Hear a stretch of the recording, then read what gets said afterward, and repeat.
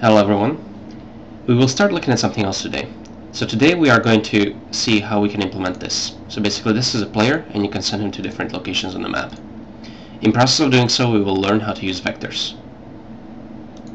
Okay, so the first thing you want to do is copy paste the starter, to rename it to tutorial 4 and open startercode.py. So I have done all that already. So this is just a starter code. Now we are going to have to keep track of two things in this program. The first is the position of the player on the screen, and the second is the position of the target where he has to move towards. So therefore we are going to create two global variables. The first one will be the position of the player, so let's say self.pos. Uh, let's place him initially in the in the center of the screen, so 400 and 300. And we are going to need also a target. And let's say the target is initially 300, 300. So I'm creating two global variables called pos and target. And I'm putting self dot because I want to be able to access these variables everywhere, not just in here. Now let's take care of the drawing because that's pretty easy. So here the draw method executes every 40th of a second. You see that we are flashing the entire screen with white. Now after we flash the screen white, let's draw the player and let's draw the target. We are going to draw them as circles, so pygame.draw.circle is the method name. Where, self.screen, what color, so let's make this a red and we are going to draw the target. So self.target is the position we want to draw in and let's make it 30 pixels big. And right after that let's draw the player. So pygame.draw.circle, self.screen. Let's make the player a bluish color.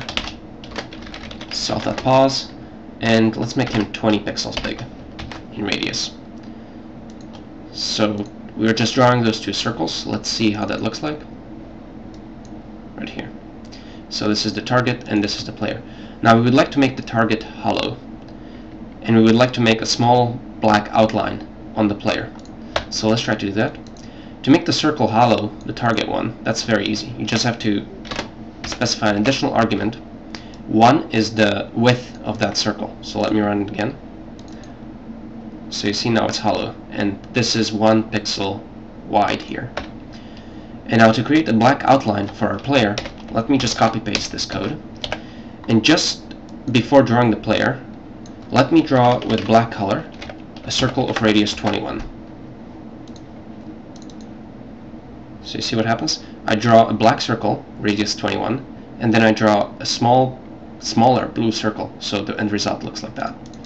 Now of course we click and nothing happens, but we are going to fix that now. So let's first implement the code that will move the target. So we want to modify this self.target variable. We will do that in mouse up. So whenever a user clicks the mouse, this gets executed, and we are given the position where the mouse click occurred. So when mouse up happens, just assign self.target to pos. That's that's it. Uh, so let me run this. And now when I click, we are changing that variable and of course we are always drawing it in the correct position. Good.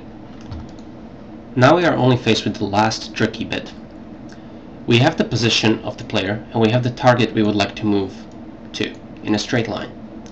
So we somehow have to increment this position always a bit closer towards target. And we are going to do this in the update method. So the update method, just like the draw method, is called 40 times a second, and it's called immediately before the draw method. So usually what you do in the update method is you update all your variables. In our case, it will be pos. and then in the draw method, you just simply draw everything. So in here, in update, we need to move pos slightly to be closer to target.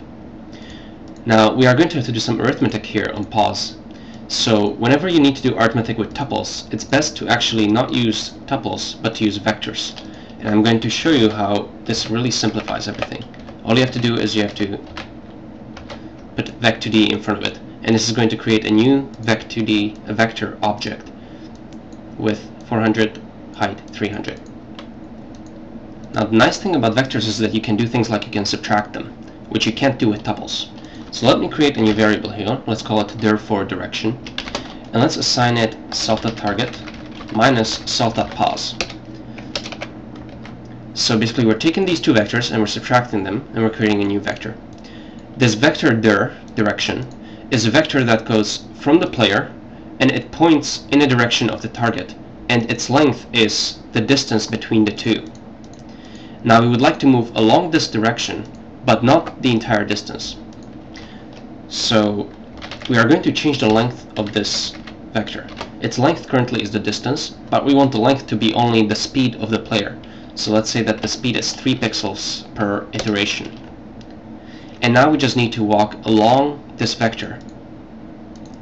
So the way we're going to do this is we're going to say self.pos is whatever it was before plus this small increment. So we are going to add on some position here of length 3. And that's all. See?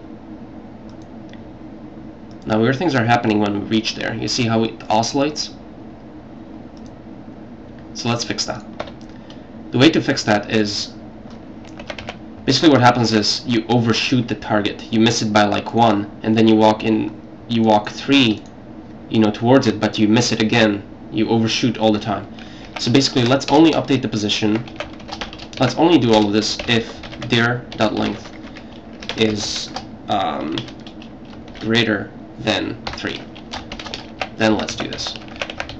And if we are within 3, so the distance between us is lower than 3, then let's not do anything. So see we stop. And we stop because we are within 3 and it's just good enough. And that's it. Good, that's it for now. So in this tutorial we mainly introduced vectors. Vectors are extremely useful. Whenever we are going to be talking about positions on a screen, we will almost always want to use vectors and not just tuples. If you are not comfortable with some of the vector arithmetic that I did here, then check the links that I give. Um, I'm going to put some resources up. And also for the colors, if you're not comfortable with that, then there are links also that I link to in the video description. And uh, that's it for now. Next time we are going to add more agents. So there will not just be the player, but there will be more people around here and they will all be moving. So we'll see how we can handle basically several things at the same time. And uh, that's it for now. Thank you for watching, and bye-bye.